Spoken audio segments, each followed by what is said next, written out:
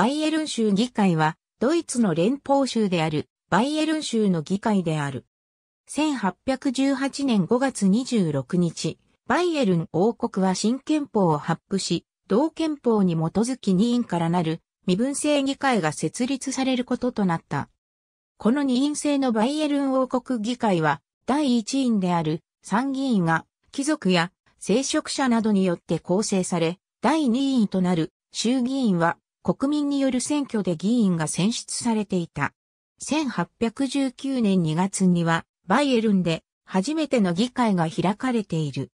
また、当初、衆議院は身分別の投票により議員を選出していたが、1848年にはこれが廃止され、25歳以上のすべての男子、納税者に選挙権が与えられた。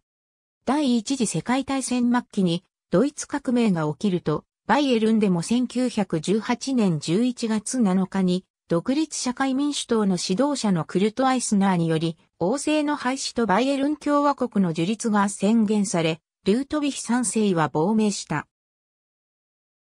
アイスナーは首相に就任したが、1919年2月の選挙でアイスナー率いる独立社会民主党は大敗し、辞任表明を行うために議会に向かう途上、右翼将校に暗殺された。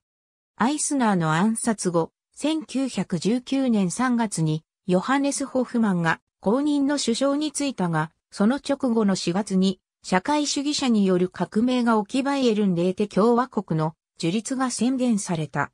これを受けてホフマン政権はミュンヘンから北部のバンベルクに逃れた。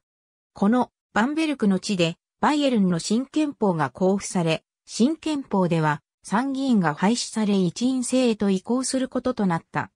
1946年にバイエルン自由州の憲法が交付され、バイエルン上院が創設されたことでバイエルンは再び二院制となった。1998年にバイエルン上院廃止の可否を問う住民投票が実施され、賛成票が有効投票の69.2%を占めた。ドイツ国内において、バイエルン州は二輪制を採用していた唯一の連邦州であったが、この住民投票の結果を受けて、バイエルン上院は廃止された。2018年10月現在の議席数は205議席。会派別の構成は以下の通り。ありがとうございます。